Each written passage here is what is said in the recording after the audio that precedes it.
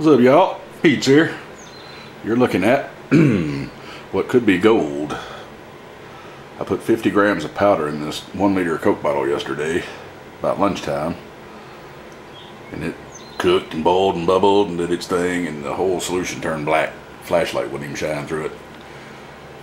So I poured off from where it's at to where the top of the label went and added a little peroxide that way you could see it and this is why I use powder.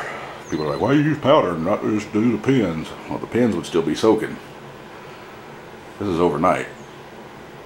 It's not a whole lot there but out of 50 grams if that's gold that's that's not bad.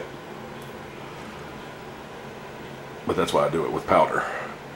It's a whole lot faster. And then the next day or two I'll have this dried and weighed and we'll find out exactly what it is.